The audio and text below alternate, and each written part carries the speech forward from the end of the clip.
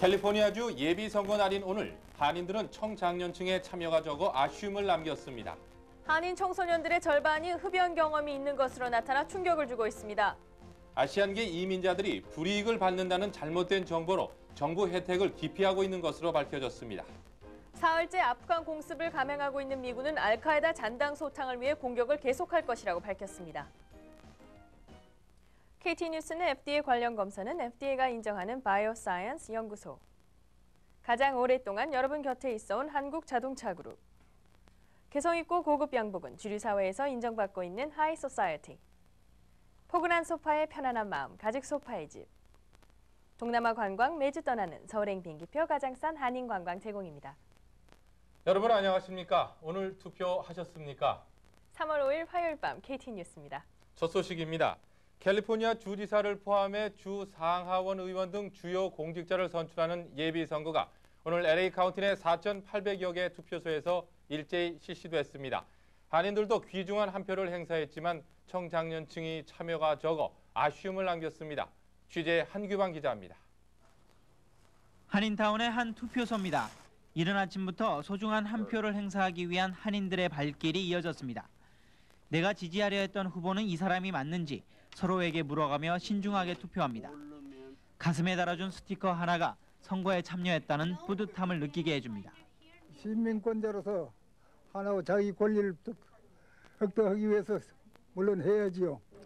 우리 시민권자니까요 꼭 해야 돼요. 왜냐하면 미국 와서 이렇게 사는데 좋은 혜택을 받고 이렇게 보여주니까요. 한인들은 나름대로의 분석을 통해 후보들에 대해 잘 알고 있었습니다.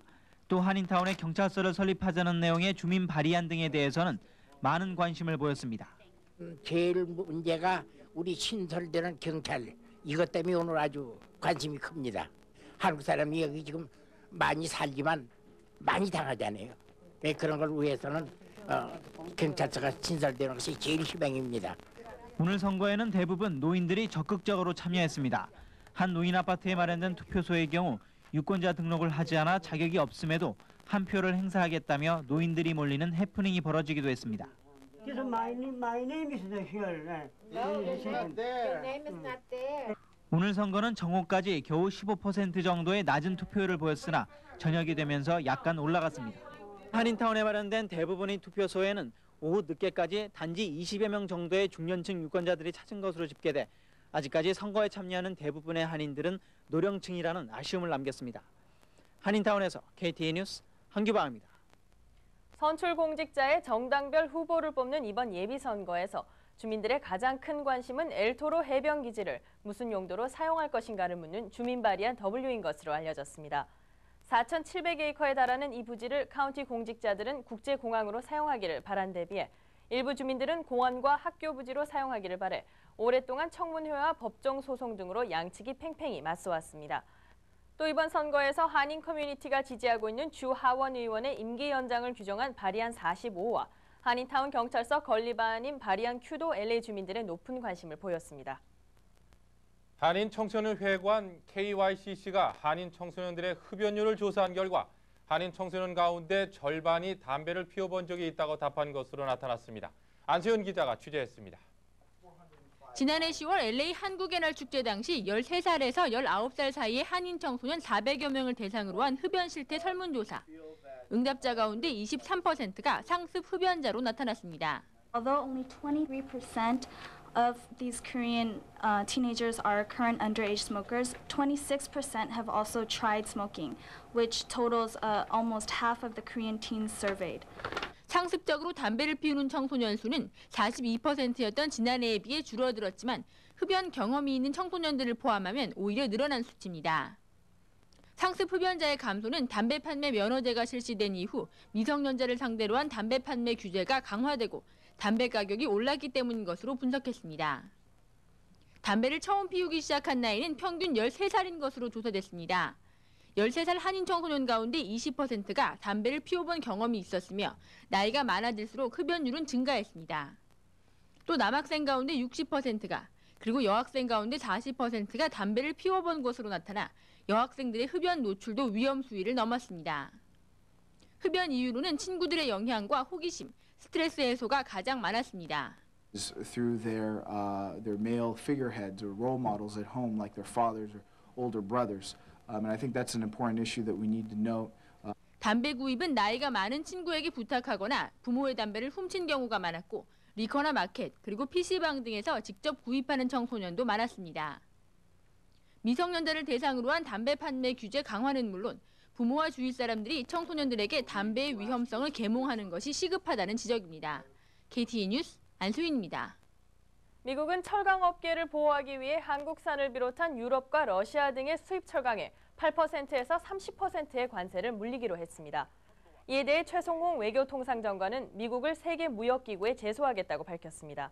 미국의 주요 무역 거래국인 유럽연합과 러시아도 이번 조치에 대해 불만을 갖고 있으며 미국은 이들 국가들과의 무역 전쟁을 피하기 위해 부심하고 있습니다. 이민자들을 위한 공공복지 혜택이 영주권이나 시민권 취득에 지장을 준다는 잘못된 정보로 이민자들이 기피하고 있으나 이는 사실과 다른 것으로 밝혀졌습니다. 허정훈 기자가 보도합니다. 이민국가 LA 카운티 공공복지센터 그리고 아태 법률센터는 오늘 아태계 이민자들이 공공복지 혜택에 관한 잘못된 인식과 정보 부족으로 각종 의료 복지 혜택을 받지 못하고 있다고 밝혔습니다. UCLA 의료보험 연구센터의 조사 결과 LA 카운티에 사는 25만 명의 한인 가운데 45%가 의료보험이 없는 것으로 나타났습니다. 이민국 관계자는 대부분의 이민자들이 정부의 공공복지 혜택을 받으면 이민 신분에 영향을 미칠 것이라는 오해를 하고 있다고 지적했습니다. 이민국 관계자는 SSI와 캐피, 칼워크스, 일반 보조, 그리고 정부 보조금으로 장기 치료를 받는 등 정부로부터 현금 보조 혜택을 받는 사람만 영주권 신청 시 문제가 생길 수 있다고 전했습니다. such as Medicaid, Children Health Insurance Program, prenatal care, or other free, or low-cost medical care at clinics uh, or health uh, centers. Food stamp also, uh, WIC program, school meals, uh, free lunch uh, program, uh, other food assistance, public housing, childcare, energy assistance, disaster relief, Head Start, job training, or counseling. These won't affect their immigration, immigration status. LA 카운티 공공복지국 관계자는 임산부와 21세 미만 어린이, 65세 이상 노인, 저소득층 가정, 그리고 장애인들을 위해 무료나 저렴한 비용의 의료 혜택과 푸드 스탬프 등을 제공하고 있다며 이를 적극 활용할 것을 권장했습니다. 관계자들은 이를 위해 이민자들이 모국어로 공공복지 혜택에 관한 정보를 얻을 수 있는 전화 서비스도 마련했다고 밝혔습니다. 한국어 서비스는 1800-557-5351입니다. 관계자들은 한인 이민자들이 한국어 전화 상담 서비스를 통해 자신에게 적합한 정부 의료 보조 혜택을 받을 것을 당부했습니다. KTE 뉴스 허정훈입니다. 오늘 새벽 2시 30분쯤 한인타운의 웨스트모어랜드와 리워드에서 수발의 총격을 받은 라틴계 청년 한 명이 숨졌습니다. 경찰은 갱 관련 사건으로 추정하고 있으며 목격자들의 진술에 따라 현장에서 도주한 짧은 머리에 검은색 자켓을 입은 30대 중반의 라틴계 남자를 찾고 있습니다. 놀만디와 칠가에 있는 한 아파트에서 지난 1일 22살의 안혜미 씨가 자살했습니다.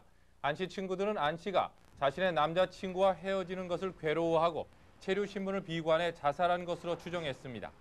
경찰은 자살 현장에서 유서나 별다른 것을 발견하지 못해 단순 자살로 처리했다고 밝혔습니다.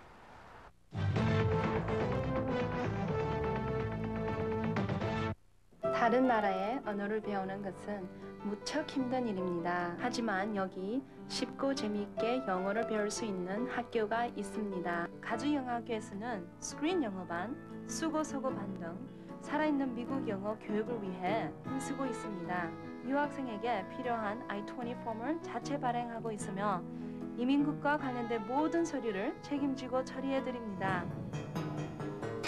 California Language School 찬란한 역사의 감동이 살아 숨쉬는 유럽 아주관광이 여러분을 초대합니다. 전 유럽에 걸쳐 진한 감동을 엮어가는 아주관광의 유럽 여행 바로 여러분이 주인공입니다. 꿈과 낭만 그리고 예술이 살아 숨쉬는 유럽 아주관광과 함께 떠나보시죠. 제가 책임지겠습니다. 한국자동차 그룹이 달려온 지난 세월은 한인 사회의 발자취이기도 합니다. 한국자동차, 범원 15의 뷰이, 하우스 오브 기아, 가든 그로브 기아, LACT 현대, 가든 그로브 현대. 항상 고객을 최우선으로 생각하는 저희 한국자동차 그룹은 언제나 변함없는 신뢰와 정성을 약속드립니다. 우리 몸의 건강은 발에서 시작됩니다. 구름 위를 걷는 듯한 편안함. 발의 건강은 모든 건강의 첫걸음이죠. 각종 사고와 질병, 피눈, 평발, 당뇨에서는 발의 합병증, 발의 모든 것을 심정욱 발닥터와 상의하십시오. 건강하고 편안한 발, 아름다운 발을 제가 책임지겠습니다.